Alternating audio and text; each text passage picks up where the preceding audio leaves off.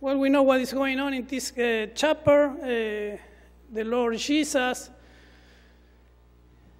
is in a situation, seeing 5,000 men, at least men. Uh, maybe the Lord started to think maybe they should be hungry. So we're going to be reading about two, uh, two different parts of the Bible. We're going to be reading John 6, and if you can also uh, look for Matthew 14, 14. So we're going to be reading in the, in the Bible what is, what is the Lord going to tell us in this part.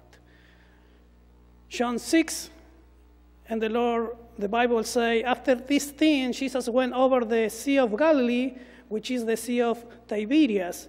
And the great multitude followed him, because they saw his miracles, which he did in them that were deceased. And Jesus went up to the mountain, and there he, saw, he sat with his disciple. And the Passover, a feast of Jews, was nigh. When Jesus, left, uh, when Jesus then lifted up his eyes and saw the great company come unto him, he said unto Philip, when shall we buy bread that this may eat? And this he said to prove him, for he himself knew what going will do. Philip answered him, Two hundred penny worth of bread is not sufficient for them that everyone that everyone of them take a little. One of his disciples, Andrew, Simon Peter's brother, saying to him, there is a lad here which hath five barley loaves and two small fishes, but what are they among so many?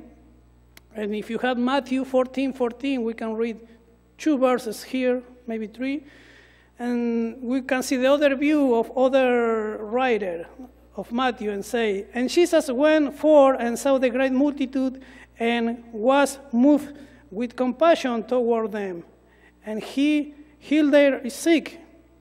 And when it was evening, his disciples come unto him and saying, This is a desert place, and the time is now past. Send the multitude away, that they might go into village and buy themselves victuals.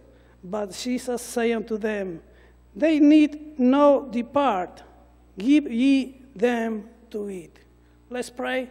Dear Lord, thank you so much for this moment. Thank you so much for what, is, what you are doing in Argentina. Thank you, Lord, for uh, all the good news we can receive today. And we pray you, Lord, you can teach us something from this part of the Bible. We pray, Lord, in Jesus' name, amen. So, something really briefly I want to tell about, you know, normally when uh, uh, I hear this passage in John is the only one who talk about in the gospel is the only one who talking about a lad. And every time we focus on how old was that lad, but in this moment I want to share the three different peoples we can see around Jesus. These three different peoples, the three have different answers, different ways to think. And we want to start with the one who read in the last part shows uh, we can find in all the other gospel matthew mark luke they say lord it's late you should tell to them they have to you know depart and go in, they find the solution for themselves they going have to go in and buy food. And the lord say they don't need to go. You can you can give to them food. You can give to them bread. And we can see these people always they, they have the solution really quickly. Say, well, you're sick, you should go into the doctor. You need money, you should get a job. It's really easy, and it's not really uh, something we can say is wrong, but it's not what the Lord is asking us to do. The Lord is saying here, they don't need to go in apart. You should give to them what they need. So in one way, we can see these people, you know, saying, well, but, you know, if, if they can do it for themselves, what about if they do it? But the Lord is asking us something special here and saying, they don't need to go in apart. You should be giving to them food. But then the Lord know about these three different groups. We have this group who say, I think the majority of the disciples, I believe, they came and say, it's time to go, no more miracles, it's close to the evening. So Jesus tell them, and they go in and buy food. If they don't have money, well, they will see later what is going on. And that is something is not really nice, even when you have Jesus right there and knowing what the Lord Jesus can do. We have the second group here, and we, we can put the name to them. We have Philip and Andrew. Philip is the one who say, ah, how much money we need? Mm, 150, 200, 400 pesos, it's not going to be enough. No, you need more. You need more money. Or even with Andrew, who even he introduced to, the, to Jesus this lad, he said, he has just, you know, five bread and two fishes. What is this for so many? It's not enough. Always we're going to find people like this say, well, it's not enough. You know, we, we, we think about how much we need and how much we need to, you know, cover all, but what we have right now is not enough. We have people who say, well, other people have to, have to take care of them, and other, even if we have 200 worth penny, penny worth, sorry, um, it's not going to be enough we short. But we have, and sadly, I would like to say other group, but it's no other group. We have a group of people saying it's not enough, other people saying we don't have enough money, but just one lad who came and say, I know it's not enough. And even I hear Andrew, when, Andrew, when I show to, to him what I have, he say it's not enough. But well, he went and told to Jesus. What I can see here is faith, different kind of faith, or different kind of have the solution.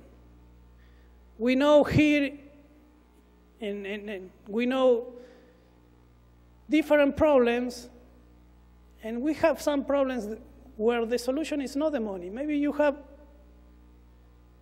good quantity of money, but you have a problem, and even with that money, you're going to be enough to pay something good, but you will not find the solution. But I like what this lad say. Maybe he was 12, maybe he was 15 year old, I don't know. But say, I want to do my contribution for what the Lord want to do. Because I hear the Lord Jesus saying, we don't need to go in because I want to be close to Jesus. So I don't want to go. And I know also we have about 5,000 men around here and maybe they're going to be hungry. But I want to do my contribution because my contribution in Jesus' hands to be the difference, to be the big difference. I don't know how this lad show up, you know, between 5,000 people and be around, but I know he know what is going on because he was close to Jesus, and he believed in him, and he believed all the stories in that moment. He hear about Jesus, you know, like um, the Samaritan woman, what happened in the wedding with the water turning in wine. Say, maybe he's doing good stuff in other places. Maybe he can do it here too. So I want to put my five bread and my two fishes in the Lord's hands, and he will do the difference. I will trust in Jesus. I will be close to Jesus to hear what he wants to do. And I will do my part, my little part. I know it's not enough. I know. Even I hear the other people saying, even 200 penny worth is not enough. Even these five fishes, eh, I mean, five bread and two fishes, you know, it's not enough. But I want to put it in the Lord's hands because something can happen because I believe in him. We know what happened that day.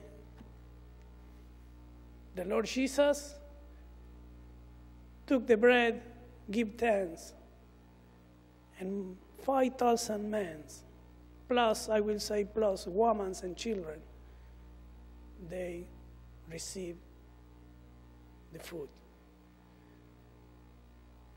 Today we started, I start saying I wanna, I am here because I wanna, uh, you know, tell what the Lord is doing, and the Lord continue doing stuff.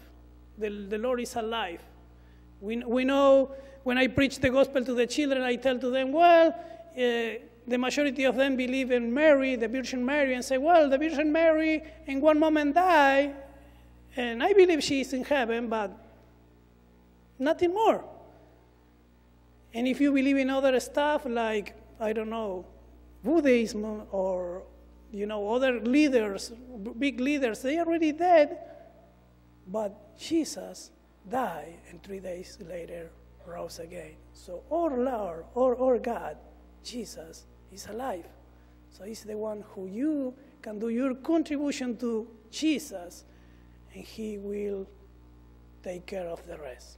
In some way, I want to say thank you for all what you're doing, but what represent for you five bread and two fishes? Well, maybe you should be thinking about it.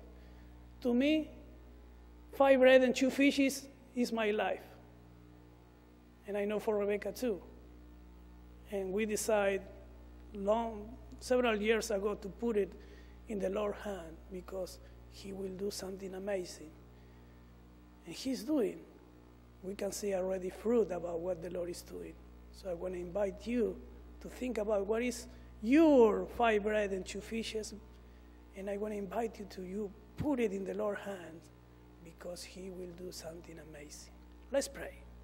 Dear Lord, thank you for this day. Thank you for this moment. Thank you for being with us in this morning, teaching us, helping us, let us see what is going on in different countries. We pray, Lord, you be taking care of us, helping us to, you know, trust in you, be close to you, to hear what is what you want to do, to help you, Lord, what we have with the stuff we have, and let us see what you can do.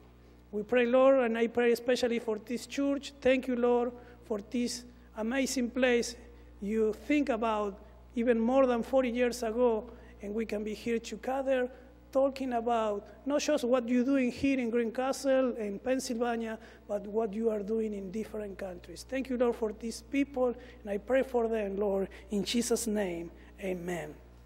Thank you so much for your patience. Um, I remember about 10 years ago when I came here and Rebecca was helping me doing the translation. So the Lord is good. Praise the Lord.